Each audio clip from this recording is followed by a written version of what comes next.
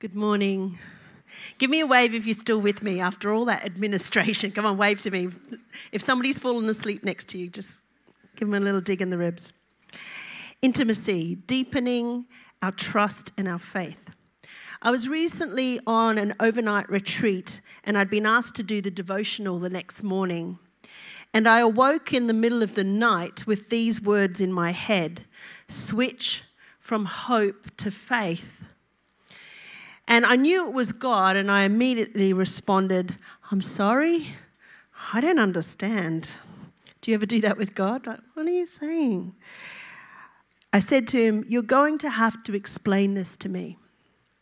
God showed me that there were important areas of my life where I was asking in hope, not faith, asking with no sense of assurance or conviction. Hebrews 11:1 tells us, "Now faith is the assurance of things hoped for, the conviction of things not seen." Faith goes beyond just hope. God was asking me to deepen my faith, to ask in faith for the things that weighed heavy on my soul. Now, how does this link to intimacy? Reaching for my journal that night and turning on the bedside lamp, God gave me this. Faith is built on trust, and trust comes from intimacy. So when we deepen our intimacy, trust deepens and our faith deepens. God showed me a personal area of my life where I was not asking with any faith or any sense of authority or conviction. I was asking in hope and in desperation, but with no sense of assurance. Now, there is nothing wrong with hope, but I sense God challenging me to shift from just hope to praying from a place of greater trust and greater faith. You see, we all have areas of our life where trust has been eroded in God's ability to bring change. Just think for a moment about your life. Areas in your life where your trust in God's ability to bring change has been eroded. In this intimate counter that I had in the middle of the night, God showed me his great love for the situation I had lost faith in. And he showed me his grief which matched my own and surpassed my own. In that moment, as everything was stripped bare, I was gently brought to a place of repentance. My trust restored in a God who does know and who does care. I was able to ask in faith concerning this situation and able to ask with assurance and conviction. Matthew 21 22 reminds us that whatever we ask in prayer, we will receive if we have faith. We as a church and we as individuals have been called to intimacy. It is the foundation on which everything else is built. When Jesus was asked, Teacher, what is the greatest commandment in the law? Jesus responded, Love the Lord your God with all your heart and with all your soul and with all your mind. This is the first and greatest commandment. The first and greatest commandment. If you leave with nothing else today, leave with this the first and greatest thing you need is intimacy with God. Life for you may not be going to plan right now. Maybe you're feeling quite distant, unloved, lonely. Love the Lord your God with all your heart and all your soul and all your mind. Come back to the first and greatest commandment. I recently read in a Facebook post of one of my friends these words God is aware of all of our shortcomings, but He's never changed His mind about us. We change our minds about God, we're often quite fickle and unreliable. But God's desire for intimacy with you has never changed. So, why is intimacy the foundation on which our faith, our trust, our life is to be built on? What does intimacy do in our life? Before I go any further, I just want to share a truth about intimacy. Recently, I caught up with a friend and she was sharing about her journey with God. I came away and I remember saying to God, Wow, she really has an intimate relationship with you, more intimate than me. Maybe someone like that should be preaching this message. God's immediate response was not more intimate, just different.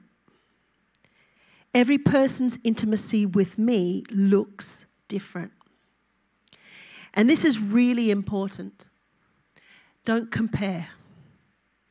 Just as couples' relationships look different and people express their love for each other in different ways, the same goes with our relationship with God.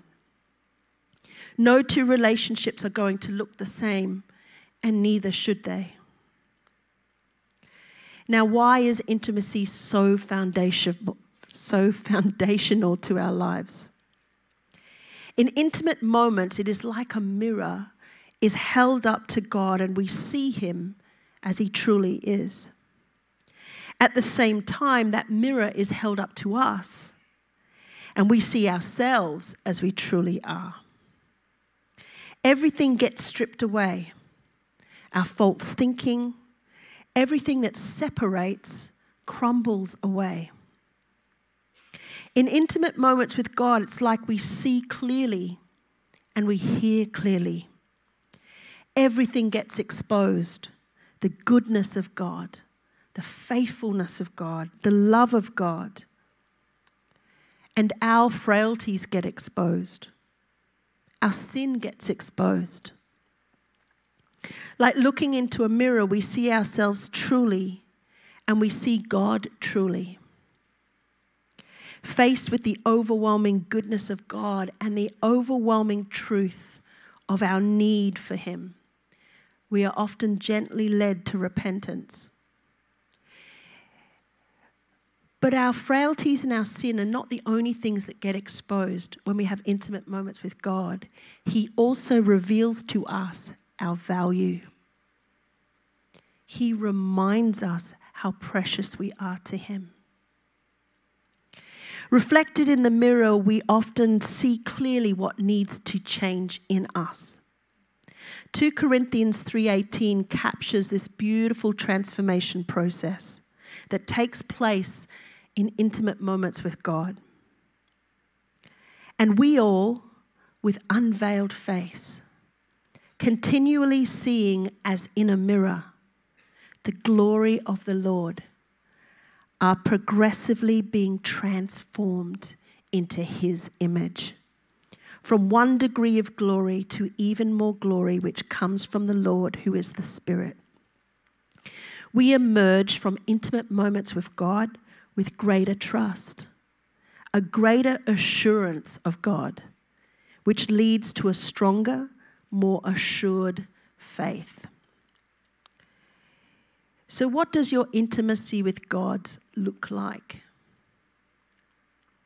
The imagery that came through Pastor Andrew's dream, which this sermon series of intimacy was built on, was of two armchairs facing each other, of you and God sitting face to face. Not just hoping for, but knowing his nearness being assured that His gaze is on you. Does your intimacy with God need to deepen? Is your faith and trust eroded? Do you need to shift your chair? Is your armchair at the moment in the same room as God's, but it's not facing Him directly?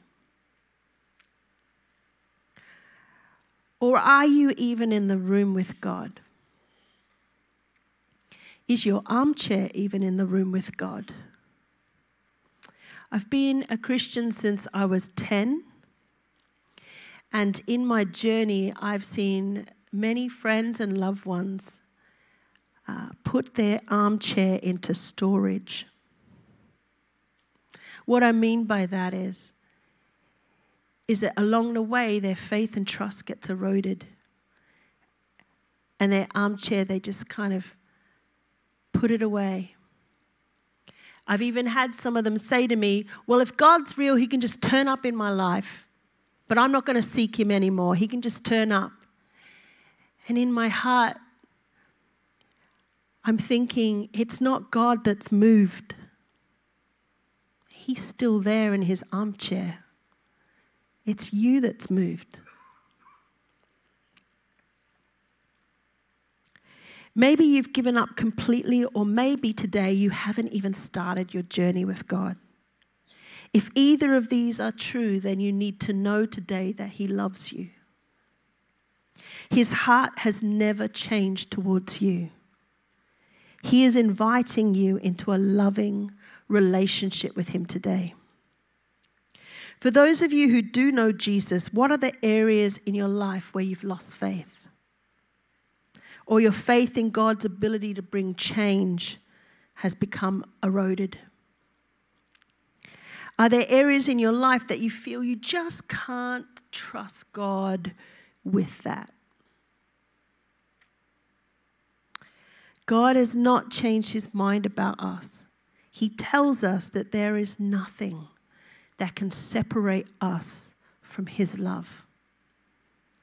A love that seeks us out, pursues us, waits patiently for us to choose to love Him with all our hearts and all our souls and all our minds.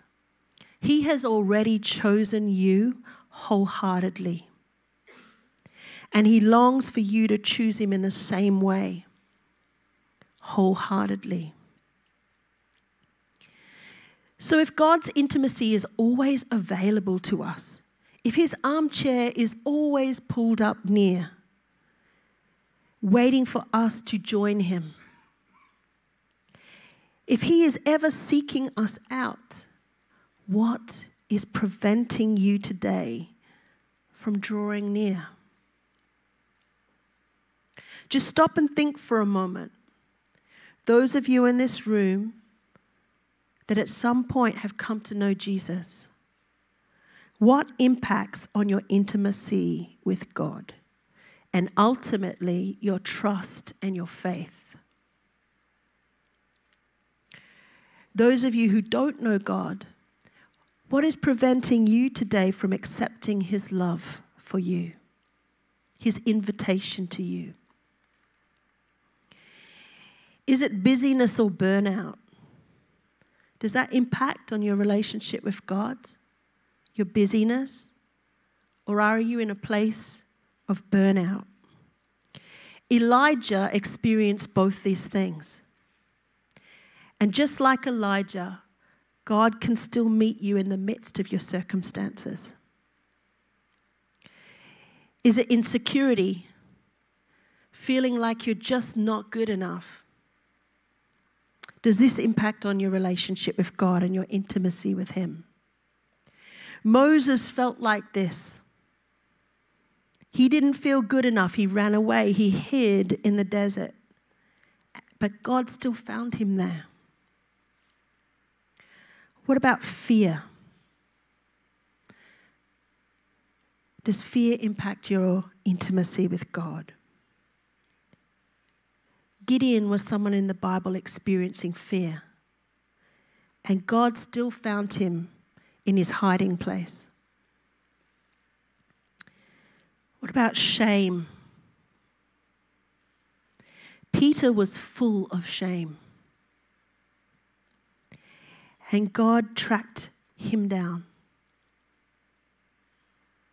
he cooked him breakfast and invited him back into his armchair. What about pride? Are you still holding on too strongly to control of your life?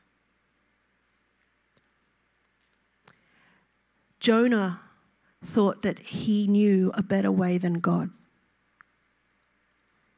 And God pursued him and he taught him that his way always works out better in our lives.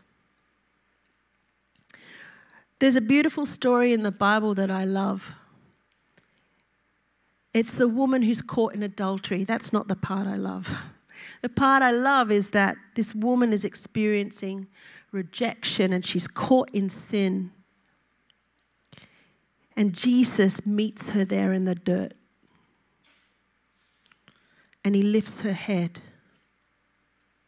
He forgives her. What about grief or disappointment, disillusionment, loss? Naomi in the Bible experienced all these things. And in the darkest of journeys, God met her and he crafted a new beginning for her. Let me share with you the one that impacts my intimacy, that I wrestle with the most laziness. A nicer word is procrastination. Put up your, if you, your hand if you're brave enough to join me on that. Procrastinate. Yeah. Yeah. There's a few of us. Glad I'm not on my own. You see, intimacy requires intentionality and it requires our time. It requires a slowing down of our fast paced, crowded minds and hearts. The verse we shared earlier speaks of loving God with all of our hearts and with all our souls and with all our minds. That means that some things have to get out of the way. Some things that have taken up space in our hearts and our souls and our minds need to get out of the way. Whatever our reasons today, whatever the things are that impact our intimacy, many times we don't want to look into the mirror. We're afraid of his conviction, afraid of his challenge, scared of what he might ask us to give up or surrender. Proverbs 3, verses 5 to 6 say, Trust in the Lord with all your heart. Lean not on your own understanding. In all your ways, submit to him, and he will make your paths straight. Trust today that the Lord knows you better than you know yourself. He also knows what you need better than you know yourself. Trust today that He's a good Father Intimate encounters with God change the course of our lives. They form the foundations on which everything else is built, like faith and trust. I want to share an intimate encounter that I had with God with you to show you how it can change the course of your life and actually become foundational. So in my 20s, I was at a conference and I had joined the kind of uh, worship, learning about worship, get, being involved in worship strain that you could choose. And part of it was that at the end, you got to sing as part of the massive choir at this conference. So I'm on stage as part of this huge choir, and we're singing this song, He's a Father to the Fatherless. Now, if you know my story, I was put up for adoption at two weeks old. Okay? So we're singing this song. He's a father to the fatherless, the answer to my prayer. And as I sang those words, it was like a video reel went on in my head. And I could see this video playing out. And God showed me that at two weeks of age, He showed me lying in a crib in the hospital where I had been put up for adoption. And I was crying in the crib because I knew that whoever had been holding me was no longer there. And God showed me that He walked into that room. He put His hands on the crib and He leant over me and He said, I will be your father. And what the enemy has determined for evil in your life, I will turn it around for good. And in this moment, standing in this choir, it was like rejection and the things that I had battled. I was quite a people pleaser because I was so insecure about my own self worth. I would crave it from other people. So I try to please them so that they would, they would, you know, pat me on the back and tell me how good I was. But in that moment, that God showed me his great love for me and that he was in my story, that he had chosen to be my father, it was like the rejection thing got turned off. And I was so sure of my value. And from that moment on, that became a foundation on which I could build the rest of my relationship with God and my relationship with others. That complete security that I was valued and I was known and I was loved and I was wanted. God today is inviting us all to deepen our intimacy with Him and our trust and our faith in Him. And we're going to take some time today to lean into that. I'm going to invite the musicians and singers to come. So, what we're going to do as we end this service is we're going to close our eyes and we're each going to imagine those two armchairs. Now, some of you may have to rearrange your armchair because maybe it's not quite facing God at the moment. Maybe you have to get it out of storage. But we're going to visualize those two armchairs and we're going to visualize ourselves facing God.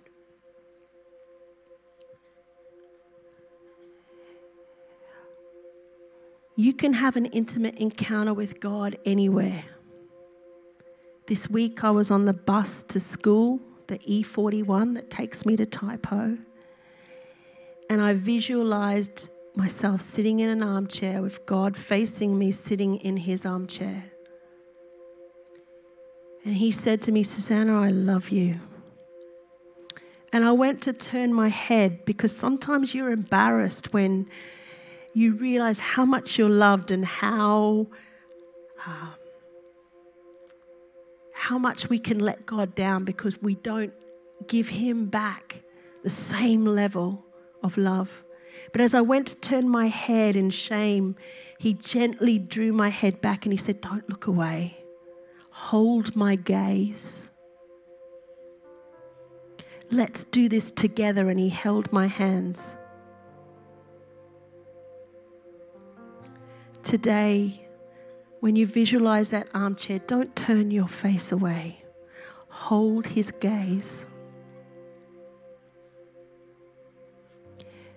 You're not alone. He'll do it with you together. He loves you.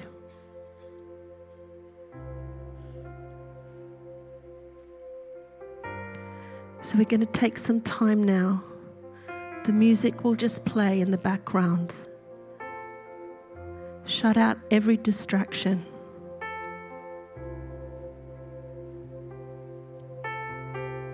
You are so important to God. He's waiting for you. And if you choose to sit in that armchair, know that He will be right there with you. And He's got something to say to you today. It might come as a picture, it might come as one gentle word.